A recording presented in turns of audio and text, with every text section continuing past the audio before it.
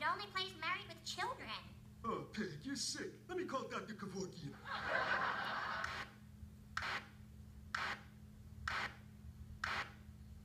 We haven't had sex in four years, Al. Now I'm the one who needs Kevorkian.